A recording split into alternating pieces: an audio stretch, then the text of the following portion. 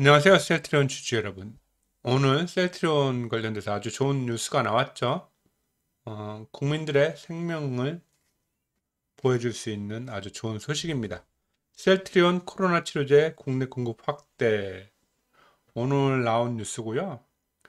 어제 한걸레에서 음, 기자가 쓴 분식회계 크게 묵은 이슈가 왜 나왔는지를 또 한번 어, 반증하는 그런 타임라인이지 않을까 생각을 합니다.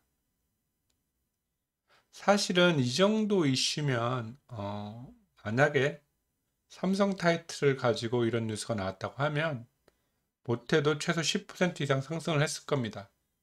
그런데 아시다시피 오늘 마이너스 500원. 음, 여러분들이나 저나 뭐 셀트리온 주주로서 참 이 비참함을 어디 가서 하소연할 데도 없네요. 어떻게 그렇게 관료, 언론, 증권사 그 어느 한 곳에서도 셀트리온의 우호적인 세력이 없다는 건 음, 연기금 같은 경우에는 조금 시끄러운 종목에서는 어, 비중을 축소해야 된다 뭐 그런 말도 있던데 시끄럽게 만드는 게 셀트리온인지 셀트리온의 반대 세력인지 지금은 헷갈릴 정도입니다. 그래도 이 셀트리온의 항체 치료제를 어, 생취소 또는 보양원에서 투여를 할 수 있게끔 제도적인 준비를 하고 실제 그렇게 처방이 되면 음, 코로나19는 점점점 더 어, 치사율은 낮아질 거고 결국에는 어, 독감처럼 우리 옆에 같이 있을 겁니다. 따라서 저는 어, with 코로나, with 코로나는 뭐다? 셀트리온 돈방석이다.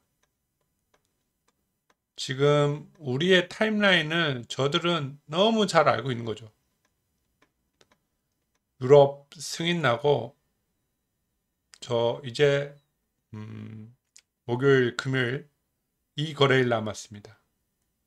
유럽의 수출이 이 거래일 안에 나오지 않는다면 사측도 이 주가에 대해서 책임에 대해서 자유롭진 않을 거라고 생각을 해요.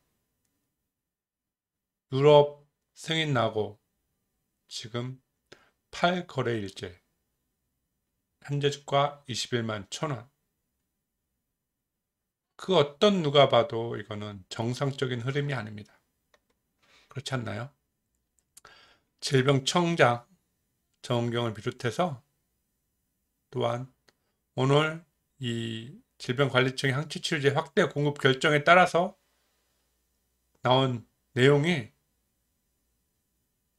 비용 대비 효과가 더 크지 않을 것 같아서 항체치료제의 투약 범위 확 대를 주저하지 주저했었다고 그랬었죠.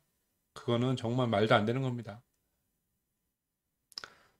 내일부터라도 이렇게 투여 확대가 생활치료센터, 생활치료센터, 요양병원 등 전국의 코로나 치료 한, 현장에 확대 공급돼서 어, 한 분의 소중한 생명이 억울하게라도 어, 돌아가시는 분이 없게 되기를 정말 진심으로 바라겠습니다. 세트론 주주 여러분, 우리는 그 독한 도깨미들입니다.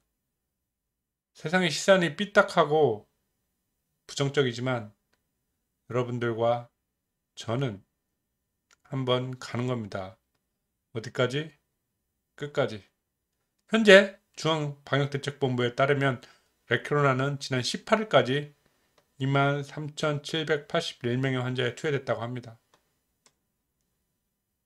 이 많은 숫자가 부작용 없이 효과를 본 거죠. 진작에 생활치료센터에서 항체치료제를 투여했어야 됨에도 불구하고 뒤늦게라도 이런 결정을 내린 정부에게 음, 심심한 위로 그래서 박수는 쳐줘야죠. 늦더라도 셀트리온의 주가는 제자리를 찾아갈 겁니다. 여러분 우리 모두 힘내시죠. 바모스.